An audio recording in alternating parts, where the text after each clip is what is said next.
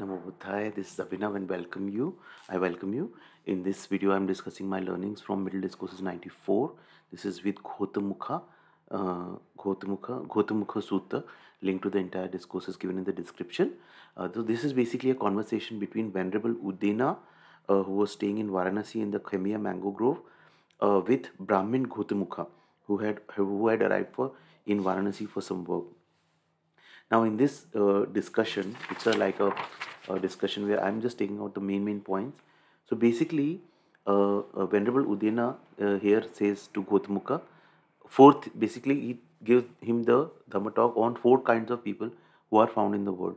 Now, this uh, four kinds of people, it's coming in other discourses as well, but I'm uh, mentioning it in this discourse, in this video as well, right?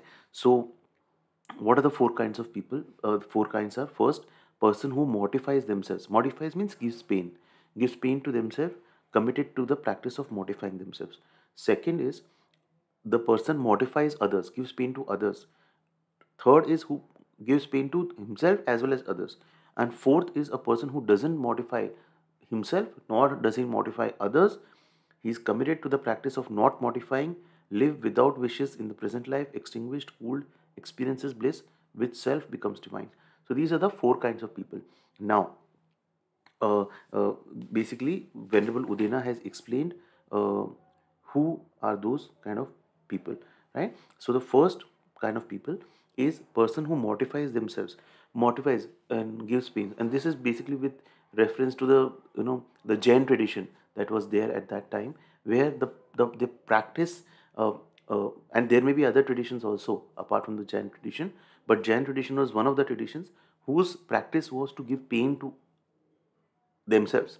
So as to clear, cleanse the bad karmas. So Buddha had clearly stated, and Buddha had even practiced all these Jain practices before his enlightenment, and he, he got the realization that they do, do not uh, help one attain enlightenment.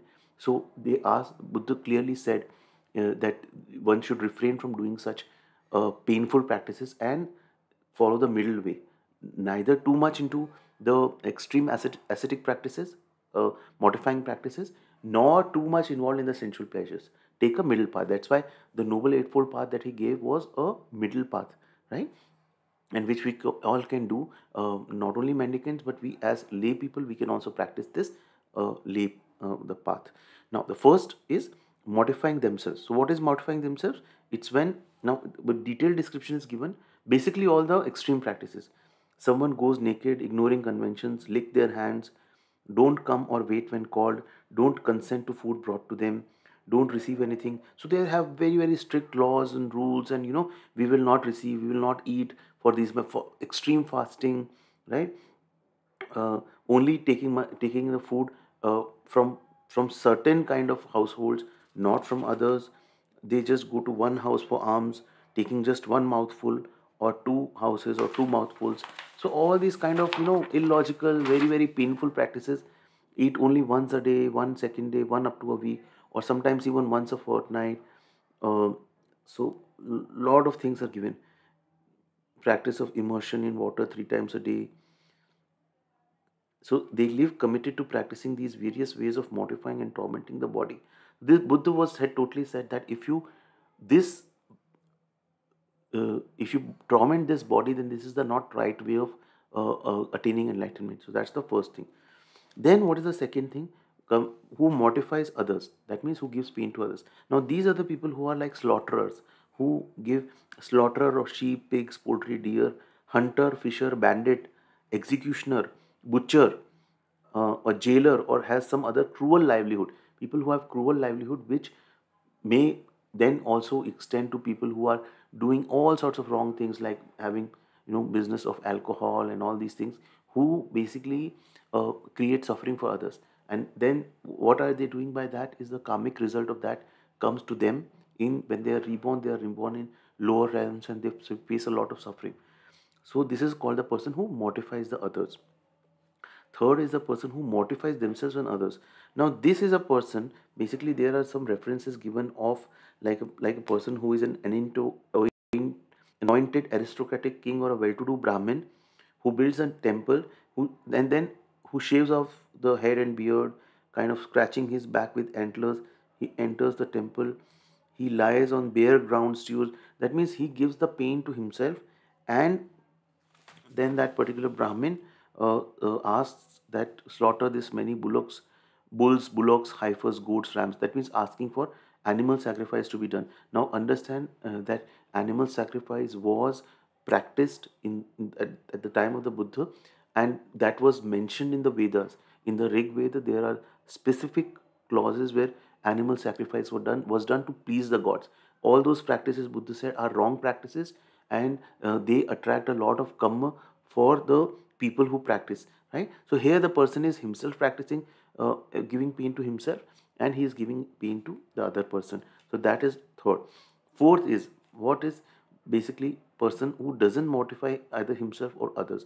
So here the answer was that it's when first Buddha says the realized one arises in the world, perfected, fully awakened Buddha, accomplished in knowledge and conduct.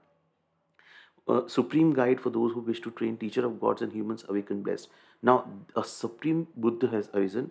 Now, a householder who is hearing the teaching, or his child, or someone reborn in a good family, they gain faith in the realized one and they move from the uh, lay life to homeless homelessness right they leave everything and they move and become a part of the sangha and they give up certain things like killing living creatures renouncing the rod and sword scrupulous and kind living in compassion giving up stealing giving up unchastity um, uh, giving up lying giving up divisive speech harsh speech talking nonsense avoid injuring plants and seeds. That means they stop inflicting harm on other living beings, right? They follow certain precepts like uh, they eat only one part of the day. All the precepts of a mendicant, right, which are contained in the monastic code, right? So they follow the precepts. They are content with what they get. Uh, they, when they see a sight with their eyes, so then they follow mindfulness. They don't caught up in the features and details, right? So they they guard their sense faculties, right?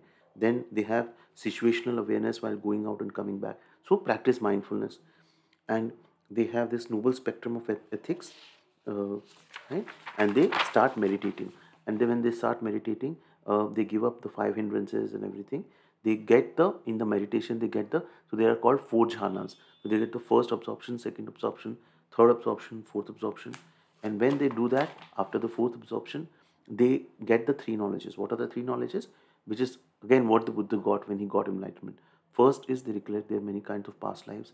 Second, they extend, uh, uh, uh, they get the knowledge of death and rebirth of all beings, sentient beings. That means they get the knowledge that a sentient being reborns as per their karma, as per the karma, and not as per uh, many other things, right?